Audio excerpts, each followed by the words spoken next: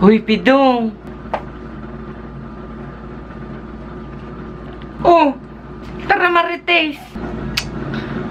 Nailing mo si ano?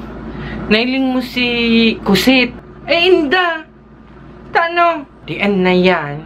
Nagtaya ako duman. Di ako pig-abisuan kung ano ang nagtama. Ah, inda. Di ko baga nasilag-silag si kalag katungon yan.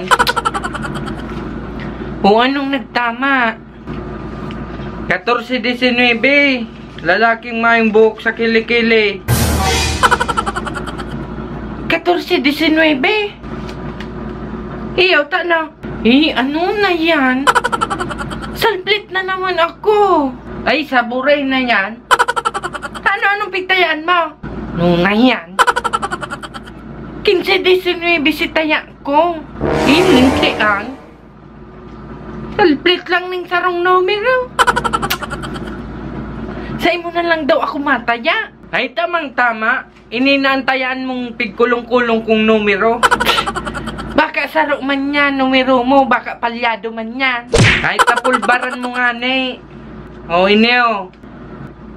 Shitty 15. Babaeng ralabot ang pante. Ay, inda. Habo ko kaya, iba na sana. Habo mo kaya? Habo. O, ini na sana, o. 1328. O anong man kombinasyon kaya? Babaeng may pitok sa lubot.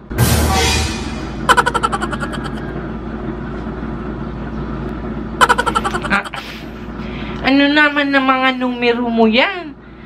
Mayo ka na dyan iba. Hmm, last na ni. 323. O ano man da yan? Babaeng parong alipong.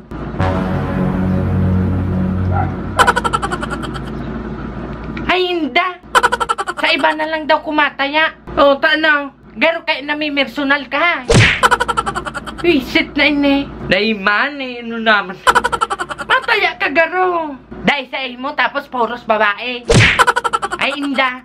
Sa iba na sana kumataya. Visit na iniyo.